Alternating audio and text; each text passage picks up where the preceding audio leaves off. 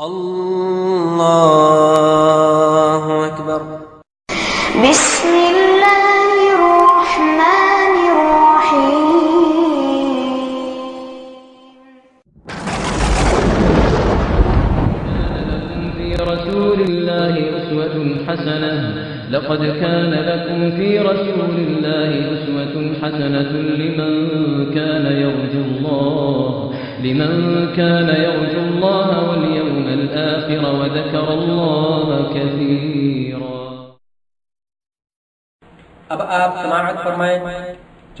دار موضوع دوسري بعد عقبة. إن الحمد لله نحمده ونستعينه ونستغفره ونعوذ بالله من شرور أنفسنا ومن سيئات أعمالنا.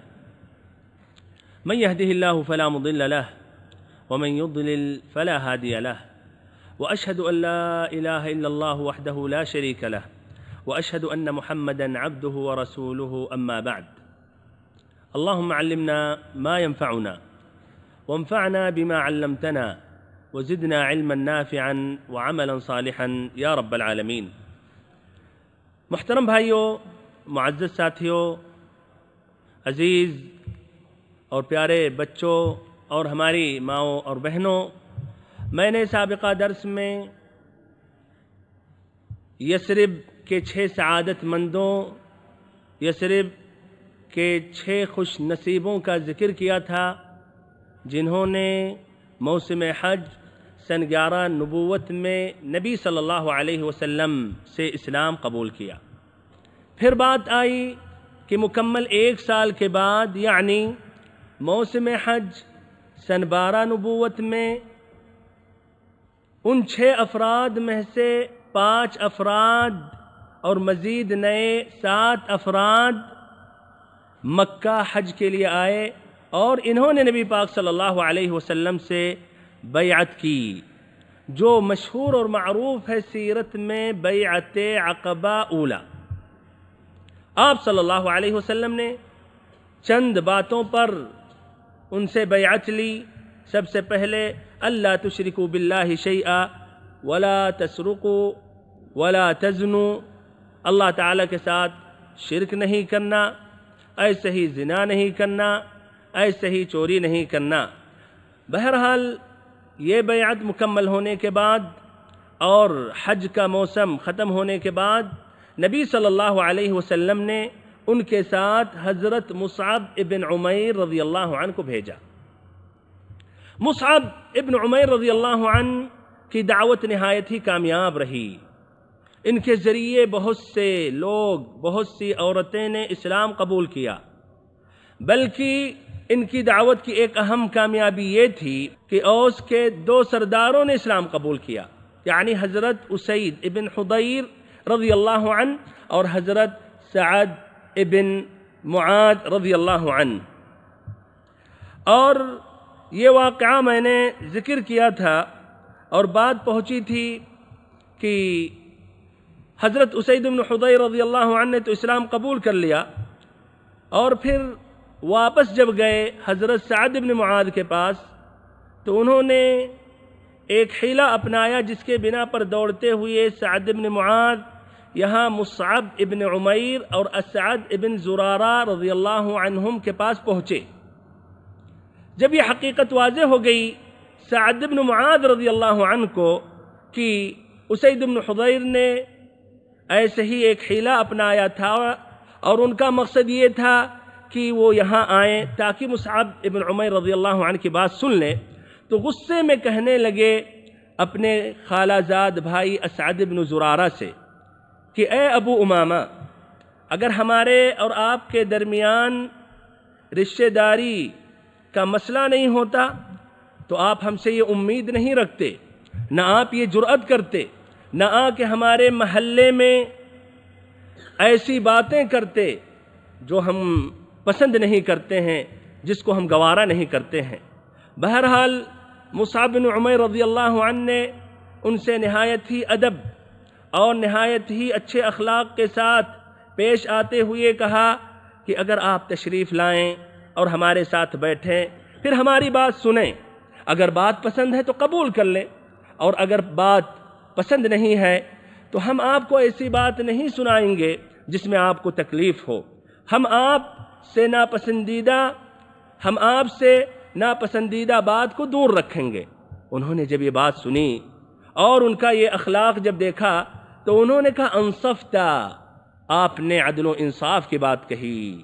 اور وہاں بیٹھ گئے اور مصعب بن عمیر رضی اللہ عنہ کی بات سننے لگے۔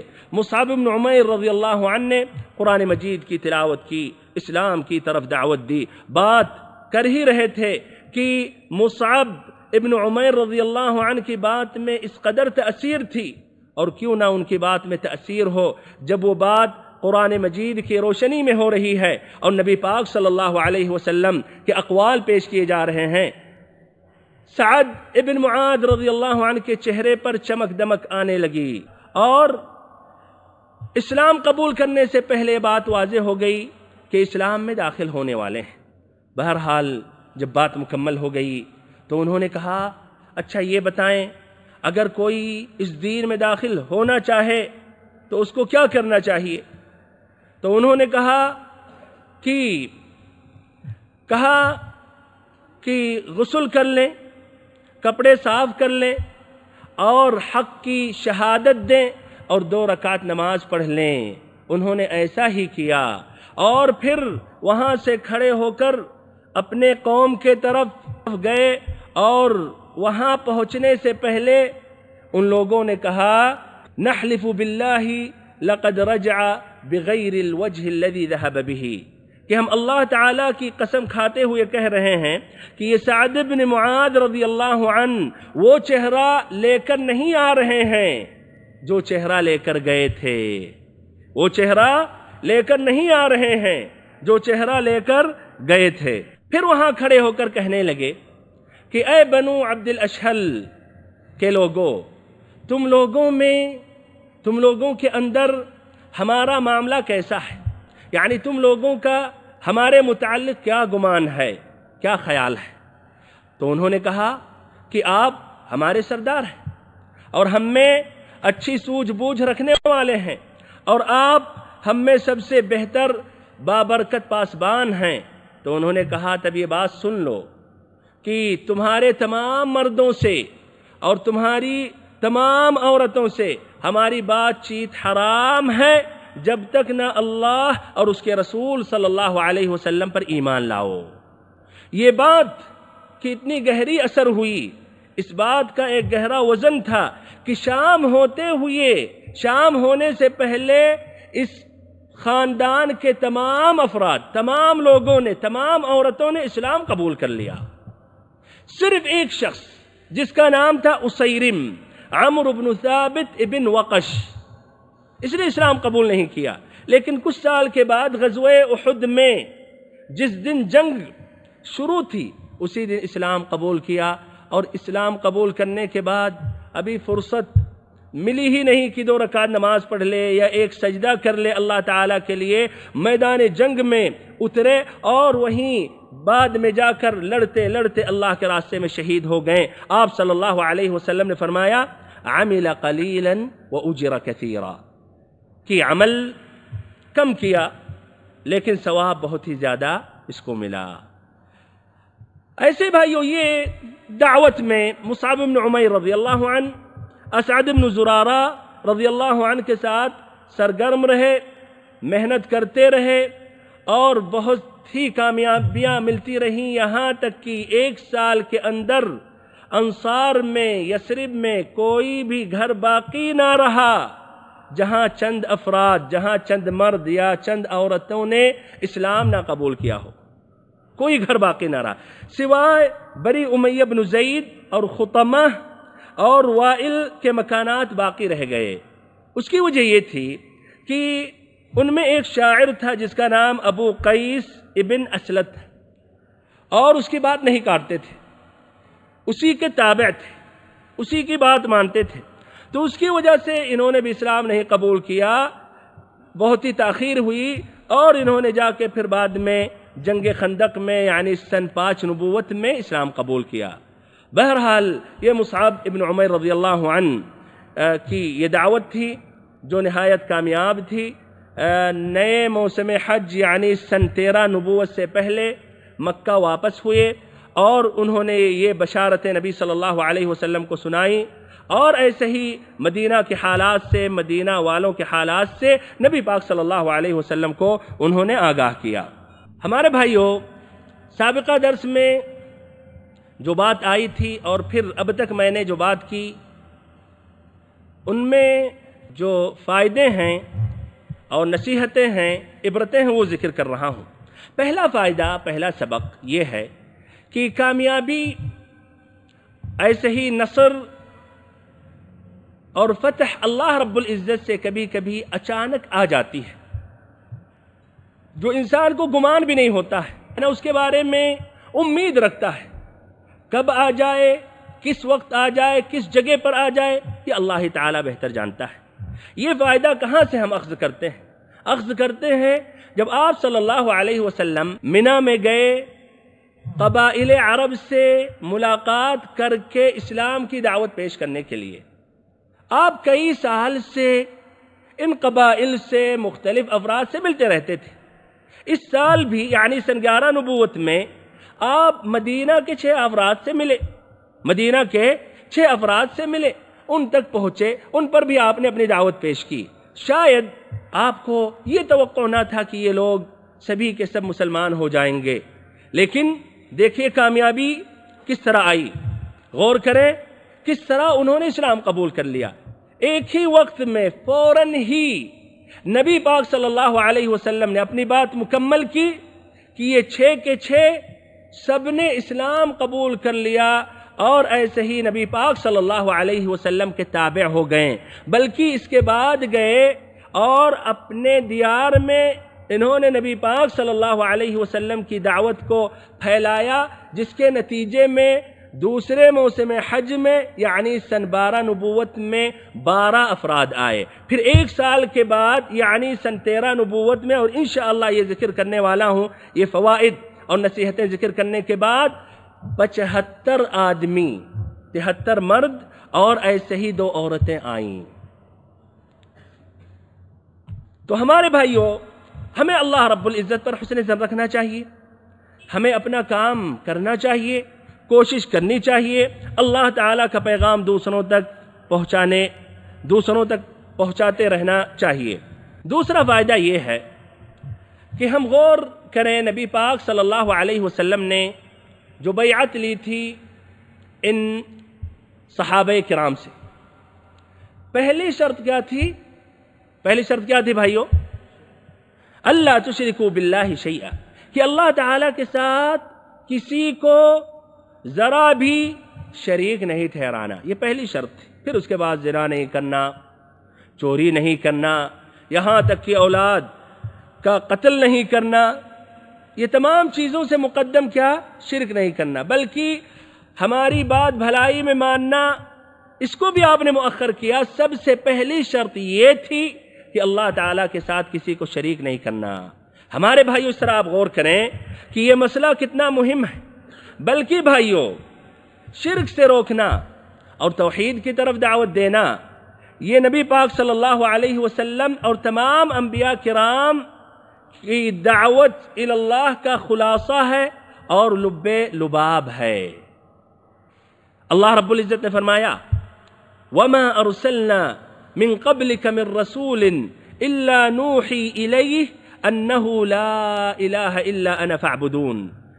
کہ ہم نے آپ صلی اللہ علیہ وسلم سے پہلے جتنے بھی رسول بھیجے، سب کی طرف ہم نے وحی کی۔ لا الہ الا انا، میرے سوا کوئی بھی معبود برحق نہیں ہے، تو میری ہی عبادت کرو۔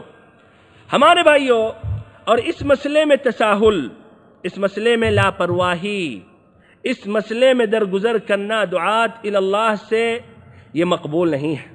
اگر کوئی داعی اللہ تساہل اپنائے اس مسئلے میں، اور توحید کی دعوت نہ دے، اور شرک سے نہ روکے، بلکہ اور امور کو مقدم کرے مثلا چوری سے لوگوں کو یعنی چوری سے لوگوں کو متنفر کرے، یا ایسے ہی زنا سے، یا ایسے ہی عوامر میں سے نماز کی طرف دعوت دے، یا زکوٰۃ کی طرف دعوت دے، یا حج کی طرف دعوت دے۔ ہمارے بھائیوں، تو یہ تساہل مقبول نہیں ہے۔ ہمیں جاننا چاہیے سب سے اہم یہ ہے، لا الہ الا اللہ، توحید کی طرف دعوت دینا اور شرک سے روکنا۔ اور شرک سے روکنا۔ بہت ہے ہمارے وہ بھائی جو کہتے ہیں، یار، اس سے اگر ہم شروع کریں گے تو اختلاف پیدا ہو جائے گا۔ اس سے لوگ منتشر ہو جائیں گے۔ ہماری بات نہیں مانیں گے۔ اسی لیے سب سے پہلے فضائل فضائل فضائل بیان کرو اور قصے، کہانیاں سناؤ۔ لوگوں کو اپنے طرف راغب کرو۔ مسجدوں میں جمع کرو۔ پھر اس کے بعد توحید کی طرف دعوت دو اور شرک سے روکو۔ ہمارے بھائیوں انبیاء کرام کا ایسا منہج نہیں تھا۔ وہ اس مسئلے میں واضح تھے۔ کیوں واضح تھے؟ اس لیے کہ بھائیو شرک کا مسئلہ نہایت ہی خطرناک ہے۔ اگر کسی کی موت شرک پر ہوئی تو ہمیشہ ہمیش کے لیے جہنم میں ہے۔ فرمایا رب العزت نے، ان اللہ لا يغفر ان يشرك به ويغفر ما دون ذلك لمن يشاء اللہ رب العزت بے شک شرک کرنے والے کو کبھی بھی ہرگز معاف نہیں کرے گا۔ اور شرک کے علاوہ جتنے بھی گناہ ہیں، اللہ تعالی چاہے جس کے لیے معاف کر سکتا ہے۔ ایسے فرمایا، رب العزت نے، وَلَقَدْ أُوحِيَ إِلَيْكَ وَإِلَى الَّذِينَ مِن قَبْلِكَ لَإِنْ أَشْرَكْتَ لَيَحْبَطَنَّ عَمَلُكَ وَلَتَكُونَنَّ مِنَ الْخَاسِرِينَ۔ کہ اللہ کے نبی صلی اللہ علیہ وسلم، ہم نے آپ پر اس بات کی وحی کی، جس طرح کہ آپ سے پہلے تمام انبیاء جس طرح کہ آپ سے پہلے ہم نے تمام انبیاء کرام پر ہم نے وحی کی تھی، اگر آپ نے شرک کیا، لئن اشرکتا اگر آپ نے شرک کیا، ہمارے بھائیوں، یہ ممکن ہے کہ نبی پاک صلی اللہ علیہ وسلم شرک کرے کیا رہا ہے بھائیوں، ممکن ہے؟ نبوت سے پہلے نبی پاک صلی اللہ علیہ وسلم نے شرک نہیں کیا۔ آپ صلی اللہ علیہ وسلم کی اللہ نے حفاظت کی۔ نبوت سے پہلے بچپن سے لے کر نبوت تک اور نبوت کے بعد بدرجہ اولا تو پھر آخر میں اللہ تعالیٰ کیوں کہہ رہا لئن اشرکتا اس میں بھائیو ہمارے اور آپ کے لیے عبرت ہے، تأکید ہے کہ غور سے سن لو۔ اگر یہ نبی اکرم، نبی اطہر، سید الاولین والآخرین، قائد الانبیاء والمرسلین، حبیب رب العالمین بھی اگر شرک کریں، جبکہ ناممکن ہے، تو ان کا پورا عمل ضائع ہو جائے گا۔ لئن اشرکت لیحبطن عملک۔ آپ کا پورا عمل ضائع ہو جائے گا۔ وَلَتَكُونَنَّ مِنَ الْخَاسِرِينَ۔ اور قیامت کے دن آپ کا شمار ان میں ہوگا جو خسارے میں ہوں گے، جو گھاٹے میں ہوں گے، جو نقصان میں ہوں گے، جو جنت سے محروم رہیں گے اور جہنم میں جائیں گے۔ تیسرا فائدہ بھائیو یہ ہے کہ ہم ذرا غور و فکر کریں۔ وہ چھ افراد جو مدینہ سے آئے تھے، وہ خوش نصیب، سعادت مند مدینہ والے چھ افراد جو آئے تھے انہوں نے اسلام قبول کیا۔ وہ اسلام قبول کرنے کی وجہ کیا تھی؟ سبب کیا تھا؟ یہودیوں سے یہ بات سنتے تھے کہ ایک نبی کا زمانہ آ گیا۔ یعنی ان کے پاس پہلے سے علم تھا۔ اس طرح بھائیو، غور و فکر کریں، علم اور معرفت کی کتنی اہمیت ہے۔ علم اور معرفت کی بنا پر ان لوگوں کو ہدایت ملی۔ تو ایسے ہی بھائیو، ہمیں بھی چاہیے کہ ہم علم حاصل کریں، معرفت حاصل کریں اور اس میں زیادہ سے زیادہ ہم محنت کریں۔ اور ایسے ہی یاد رکھیں کہ عبادت کرنے سے پہلے علم کا اہتمام ہونا چاہیے۔ ایسے ہی دعوت اللہ سے پہلے علم کا اہتمام ہونا چاہیے۔ اور جو عبادت کرنا شروع کر دے گا اور اس کے پاس علم نہیں ہے تو ممکن ہے کہ غلط طریقے سے اللہ کی عبادت کر رہا ہو۔ اور جو دعوت اللہ کے میدان میں اتر جا رہا ہے، اس کے پاس علم نہیں ہے تو ممکن ہے فائدے سے زیادہ نقصان پہنچائے اور یہی مشاہد ہے اور یہی ہم اور آپ دیکھ رہے ہیں، سن رہے ہیں۔ حدیف بن الیمان رضی اللہ عنہ نے ایک شخص کو نماز پڑھتے ہوئے دیکھا۔ سوال کیا، منذ متا وانت تصلی هكذا؟ کتنی سال سے آپ ایسے ہی نماز پڑھ رہے ہیں؟ تو کہا، منذ اربعین، چالیس سال سے۔ کہا، ما صلیت تم نے نماز ہی نہیں پڑھی۔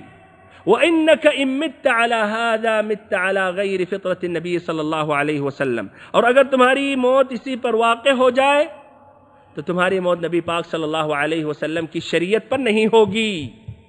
یہ مسند احمد اور نسائی کی روایت ہے۔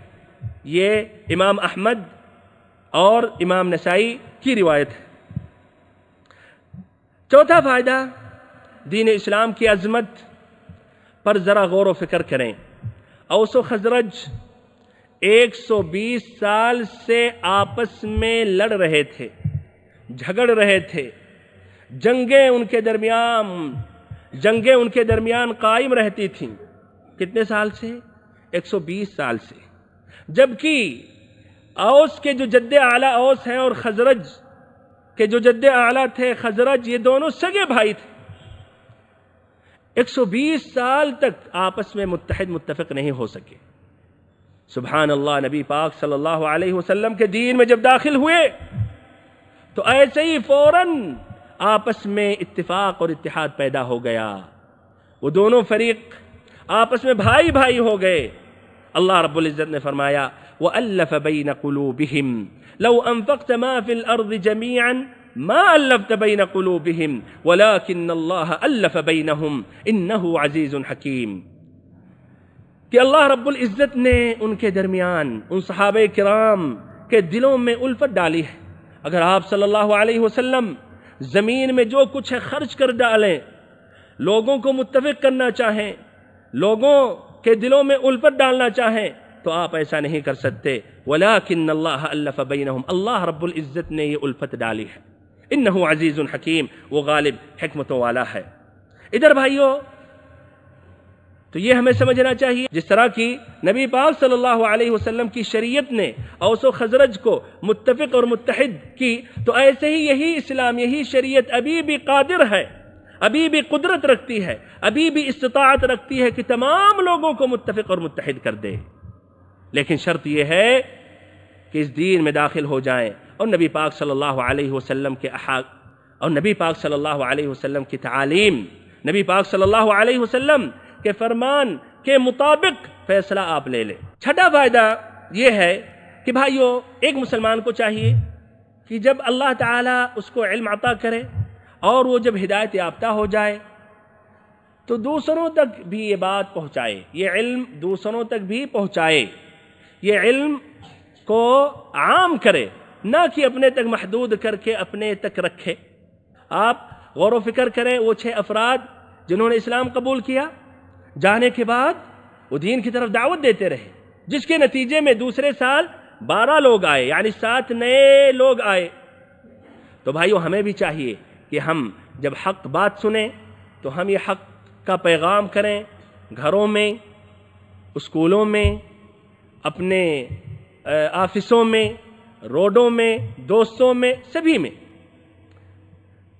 نمبر سات، ساتواں فائدہ اس سے واضح ہوتا ہے کہ دعات اللہ کو مختلف جگہوں پر بھیجنا چاہیے۔ دین کی طرف دعوت دینے کے لیے، لوگوں کو سکھانے کے لیے، جس طرح کہ نبی پاک صلی اللہ علیہ وسلم نے مصعب ابن عمیر رضی اللہ عنہ کو بھیجا تھا۔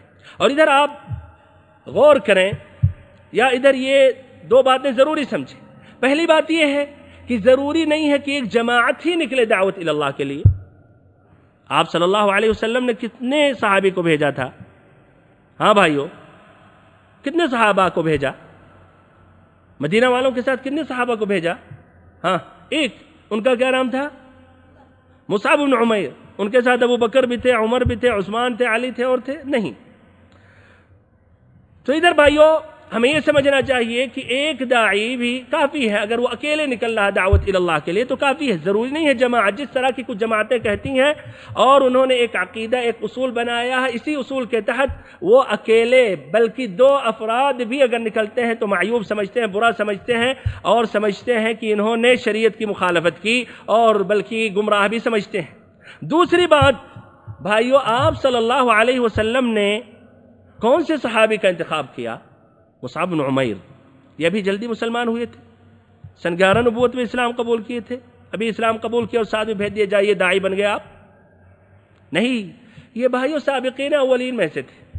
پرانے صحابی تھے جنہوں نے قرآن سیکھا، جنہوں نے نبی پاک صلی اللہ علیہ وسلم کی باتیں سنی اور آپ صلی اللہ علیہ وسلم کے حلقے میں برابر آتے رہتے تھے، اٹھتے، بیٹھتے رہتے تھے۔ آپ صلی اللہ علیہ وسلم سے استفادہ کرتے تھے۔ تو آپ صلی اللہ علیہ وسلم نے ایک جلیل القدر، ایک عالم، ایک فقیح صحابی کو بھیجا۔ تو دعوت اللہ کے لیے ایسے ہی اہل علم کو جاننا چاہیے، نہ کہ جاہلوں کو جانا چاہیے۔ جو ابھی چوبیس گھنٹہ بھی نہیں ہوا، ان کو ہدایت ملی، ایک داعی بن گئے، مبلغ بن گئے۔ ایسے بھائیو، آٹھواں فائدہ یہ ہے، مصعب بن عمیر رضی اللہ عنہ کی فضیلت۔ مصعب ابن عمیر رضی اللہ عنہ کی منقبت واضح اور ظاہر ہے۔ اب اس کے بعد بھائیو ہم دوسری بیعت عقبہ کا ذکر کر رہے ہیں۔ ہمارے بھائیو، یہ دوسری بیعت عقبہ نبی پاک صلی اللہ علیہ وسلم کی سیرت کا ایک عظیم الشان، ایک عظیم واقعہ تھا۔ بلکہ اسلامی تاریخ کا ایک عظیم حادثہ تھا، جس سے بھائیوں مدینہ کی طرف ہجرت کا دروازہ کھلا صحابہ کرام کے سامنے، بلکہ پھر آپ صلی اللہ علیہ وسلم نے بھی ہجرت کی۔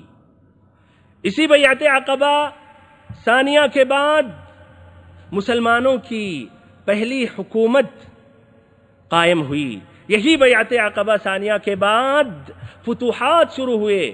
غزوے بدر القبرہ یہ پیش ہوا، یہ جنگ ہوئی، جس میں اللہ تعالیٰ نے فتح اور کامیابی نبی پاک صلی اللہ علیہ وسلم اور صحابہ کرام کو عطا کی۔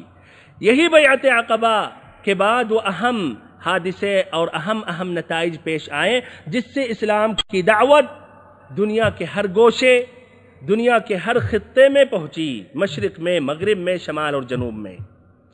ہمارے بھائیوں، یہ دوسری بیعت عقبہ، یہ کب واقع ہوئی؟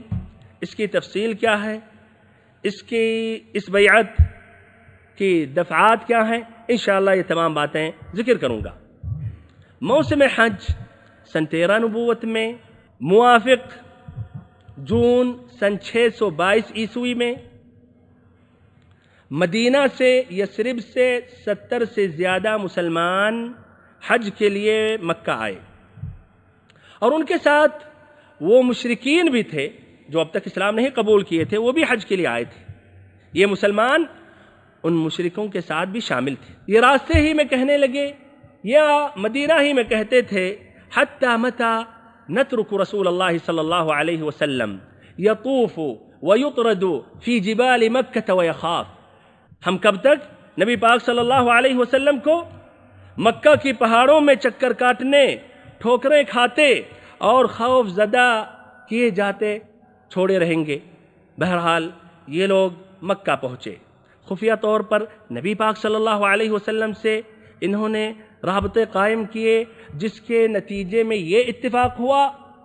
یہ بات کی تجویز ہوئی، یہ بات پیش ہوئی کہ اوسط ایام التشریق یعنی ایام تشریق کی درمیانی دن میں، ایام تشریق کے درمیانی دن یعنی بارہ ذی الحجہ ایام التشریق تین ہے گیارہ، بارہ، تیرہ۔ تو ایام التشریق کے درمیانی دن میں یعنی بارہ ذی الحجہ کو منا میں، جمرہ اولا یعنی عقبہ کے پاس جو گھاٹی ہے، وہاں رات کی تاریکیوں میں، رات کی تاریکی میں بالکل خفیہ طور پر ہوگا۔ یہ اتفاق ہوا کہ یہاں جا کر یہ جمع ہوں گے۔ اب بھائیو، کعب بن مالک رضی اللہ عنہ یہ بھی شامل تھے، یہ بھی ان مسلمانوں کے ساتھ آئے تھے۔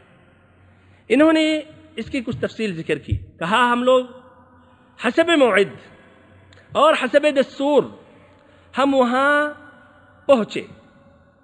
یا حسب دستور ہم لوگ اس رات میں یعنی بارہ ذی الحجہ، جو تیرہ ذی الحجہ کی رات تھی۔ وہاں ہم حسب دستور اپنے ڈیروں پر جا کر سو گئے۔ ادھر مشرق بھی تھے، وہ بھی غیر مسلمان تھے، ان کے ساتھ ہم سو گئے۔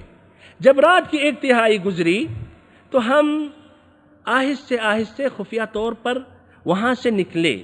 ہم نے نکلنا شروع کی۔ نہایت ہی خاموشی کے ساتھ کہ کسی کو احساس تک نہ ہو، بلکہ اس طرح ہم لوگ وہاں سے نکلے جس طرح کی چڑیا گھونسلے سے سکڑ کر نکلتی ہے۔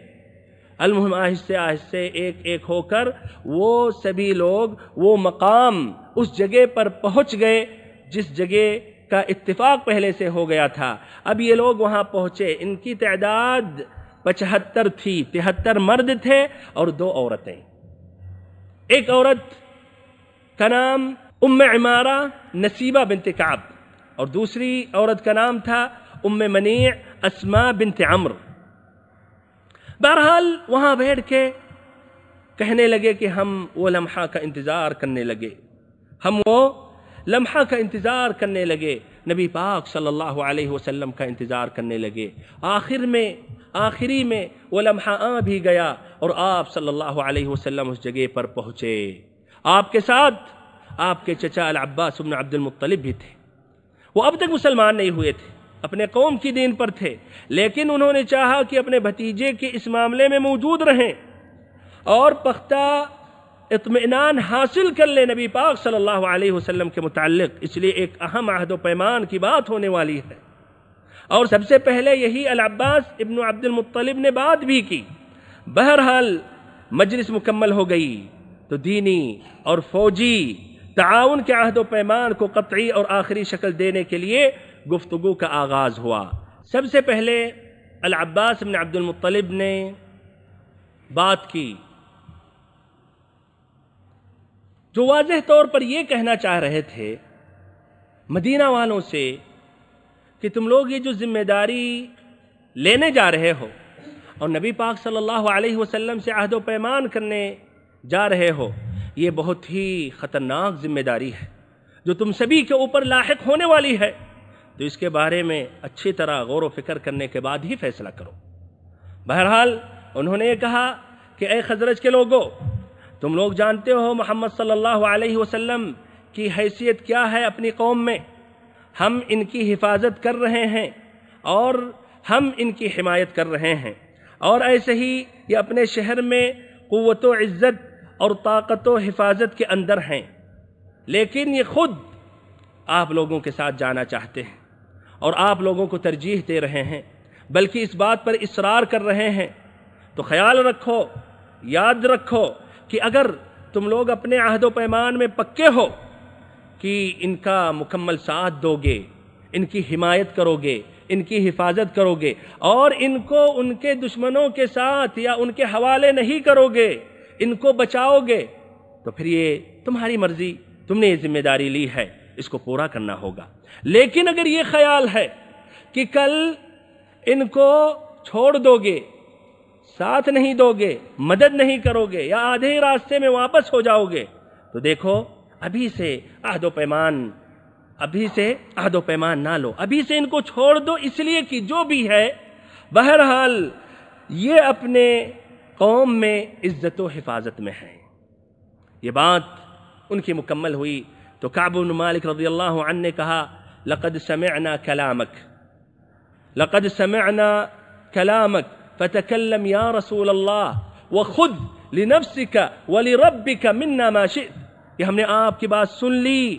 اے اللہ کے نبی، آپ اب گفتگو کریں اور جو چاہیں، جو پسند کر رہے ہیں اپنے لیے یا اپنے رب کے لیے، جو عہد و پیمان لینا چاہ رہے ہیں آپ لے لیں۔ اس بات سے بھائیوں یہ واضح تھا کہ ان کے دل میں کس قدر نبی پاک صلی اللہ علیہ وسلم کے لیے محبت تھی، کس قدر وہ یہ کس قدر وہ مصیبتوں کو جھیلنے کے لیے تیار تھے، کس قدر پر خطر نتائج کو جھیلنے کے لیے، اٹھانے کے لیے وہ بالکل مستعد تھے۔ بہرحال اس کے بعد بیعت کے دفعات بیان کیے گئے۔ مسند احمد میں یہ روایت ہے جو حضرت جابر رضی اللہ عنہ سے مروی ہے۔ کہ ان باتوں پر اتفاق اور عہد و پیمان لیا گیا۔ یا دفعات اس بیعت کے یہ تھے۔ نمبر ایک چستی اور سستی میں ہر حال نبی پاک صلی اللہ علیہ وسلم کی بات مانو گے، بات سنو گے۔ نمبر دو، خوشحالی میں، تنگی میں ہر حال میں مال خرچ کرو گے۔ نمبر تین، بھلائی کا حکم دو گے۔ برائیوں سے روکو گے نمبر چار، اللہ کی راہ میں اٹھ کھڑے ہوگے اور اللہ کے معاملے میں کسی ملامت گر کی ملامت کی پرواہ نہ کرو گے نمبر پانچ، جب نبی پاک صلی اللہ علیہ وسلم آپ کے پاس آ جائیں گے، تو نبی پاک صلی اللہ علیہ وسلم کی مدد کرو گے اور جس چیز سے اپنے اہل و عیال کی حفاظت کرتے ہو، تو اس چیز سے نبی پاک صلی اللہ علیہ وسلم کی بھی حفاظت کرو گے ایسے ہی ابن حشام میں عبادہ رضی اللہ عنہ سے ایک جملے کا اور اضافہ ہے، ایک بند کا اور اضافہ ہے۔ اس میں یہ ہے کہ وہ اللہ ننازع الامر اہلہ کہ اہل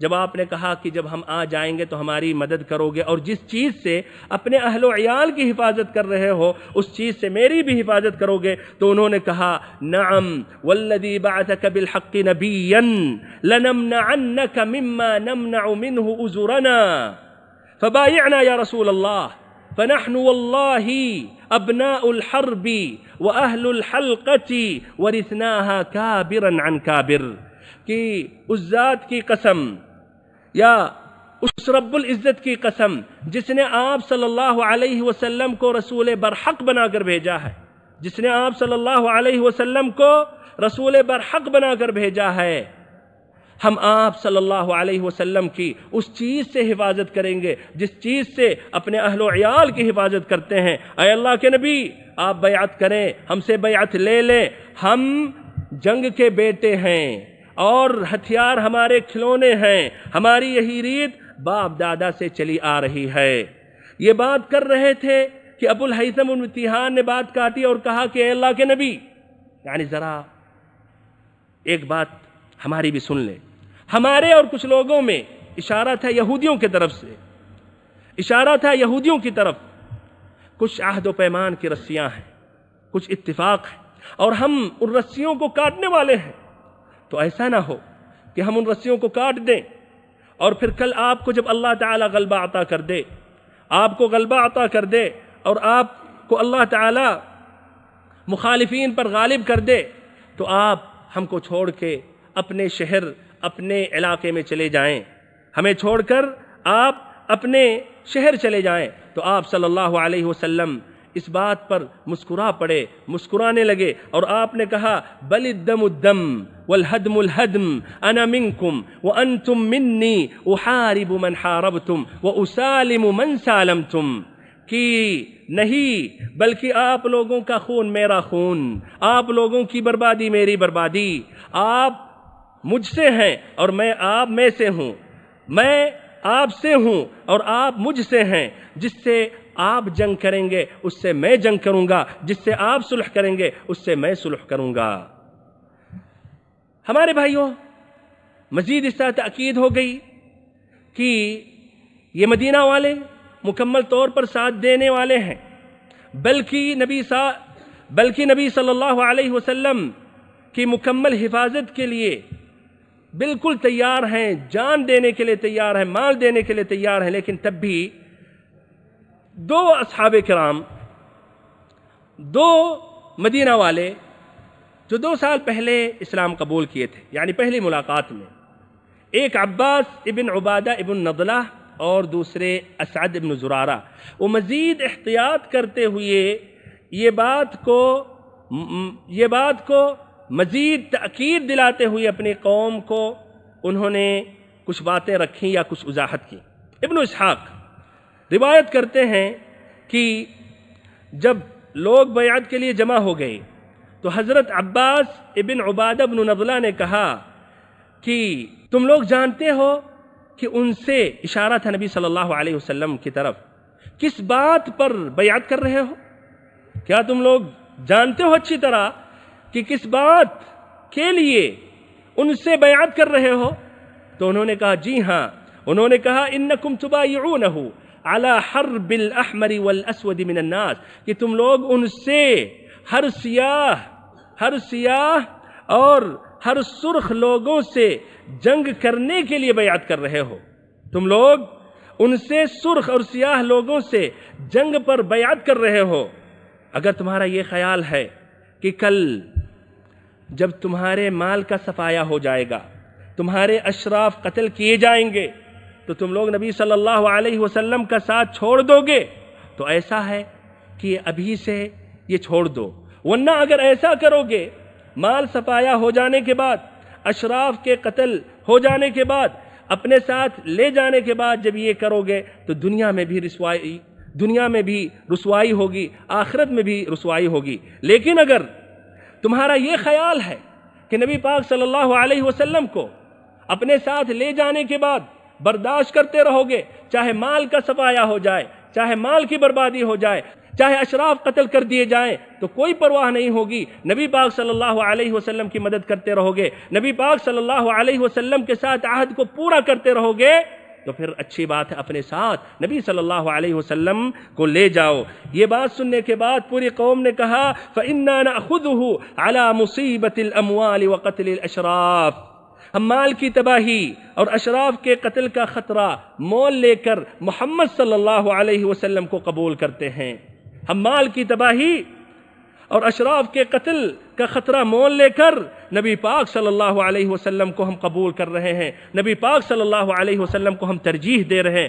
نبی پاک صلی اللہ علیہ وسلم کو اپنے مال سے بھی زیادہ بہتر اور عزیز ہم سمجھ رہے ہیں۔ اپنے اشراف کو ان کے خاطر، ان کی محبت میں، ان کے لیے، قتل کرنے کے لیے، قتل کروانے کے لیے اور ان کو قربان کرنے کے لیے ہم تیار ہیں۔